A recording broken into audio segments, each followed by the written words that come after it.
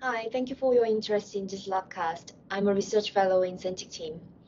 In this labcast, I'd like to present our research on explainable depression detection on social media aided by metaphor concept mappings. This is an overview of today's labcast. Starting with the background information on our research, I'll present our research aims and define the research problem, and I'll also summarize the main contributions of our work.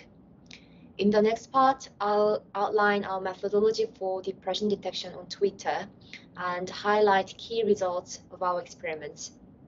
And finally, I'll conclude this labcast by summarizing the main points. Depression is a serious health and social issue in our global society, and its prevalence is increasing significantly. We focus on depression on social media because people express their feelings, experiences, and mental state on social media using daily languages. Depressive use, depressives often do this even before seeking professional advice or help. As for methods, the state-of-the-art models usually focus on achieving higher performance in terms of classification evaluation metrics such as F1 score and accuracy. Also, deep learning models are usually black box models which means we don't know what's going on inside them, and it's hard to interpret results produced by such models. Inspired by findings of previous research and current, current limitations of methods, we aim to automatically detect potentially depressed users solely based on textual content of their social media posts. And we also aim to explain results produced by computational models for depression detection. In this work, we address the task of user-level depression detection, which can be considered a binary classification problem. Specifically, we aim to identify whether or not a user is likely to suffer from depression. The main contributions of our work can be summarized in threefold. First, we propose an explainable model for depression detection on Twitter we incorporate context-level attention mechanisms into our model so we can identify the relative importance of input features. Second, we introduce a novel feature called metaphor concept mappings into our model to better understand how people communicate their depression on social media. And finally, our model advances the state-of-the-art performance even with a smaller number of training parameters compared with the baselines. And it can also generate explainable results. Now, I'd like to go into detail about our methodology for depression detection on Twitter. The figure shows an overall architecture of our method uh, called Hierarchical Attention Network. It consists of two modules, one is for learning tweet textual content, and the other is for learning metaphor concept mappings. And each module consists of multiple layers of attention-based encoders. Before explaining the detailed methodology for depression detection, I'd like to briefly describe how these metaphor concept mappings are obtained. First, we label each token in tweets with two different labels, one is metaphor and the other is part of speech tag.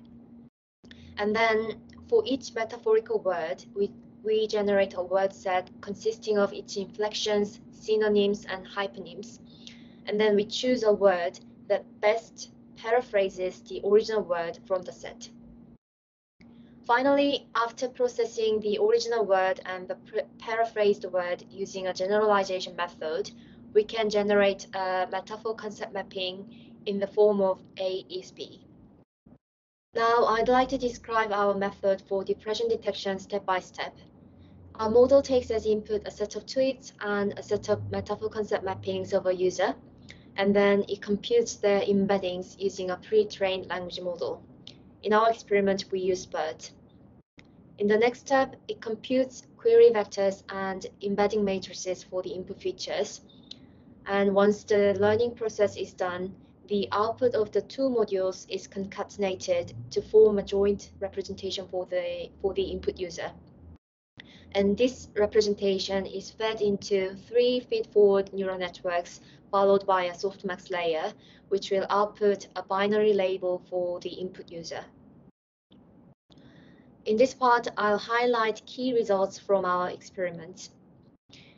As for classification performance, our model achieves an average F1 score of 97%, and this is an increase of 6% over the strongest baseline. The table compares different models for user-level depression detection. If we look at the figure on the right side, it visualizes attention weights learned by our model for two depressed users. Here we can see different colors for different features, which indicates that our model can successfully learn the relative importance of different features. Uh, we also demonstrate the explainability of our model here. The table shows the top five tweets and metaphors selected based on attention weight for two example depressed users. By, by examining the results, we can draw some interesting conclusions. For example, for the first user, uh, they use negative expressions and tone. And for the second user, they tend to report or quote threatening news events, and sometimes they add some personal comments to them. In summary, in this work, we proposed an attention-based architecture for explainable depression detection on Twitter to better understand decision-making process for the task. Second, we introduced a novel feature called metaphor concept mappings into our model for depression detection. Next, our model advanced the state of the art in terms of classification evaluation metrics, and it produced results which can be interpretable by humans. And lastly, our source code and datasets will be publicly available shortly. Thank you for your attention. And if you have any questions about, about our research and this labcast, please feel free to reach out to me. Thank you.